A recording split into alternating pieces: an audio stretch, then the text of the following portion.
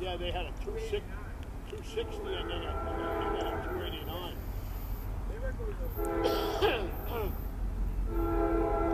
that 260 was a